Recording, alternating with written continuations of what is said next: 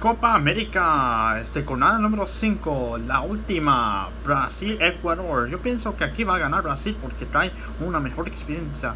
Venezuela, pero yo pienso que lo va a ganar a, Venezuela. Y Uruguay-Paraguay, Uruguay. Bolivia-Argentina, porque Bolivia no puede ser nada, así que lo va a ganar Argentina.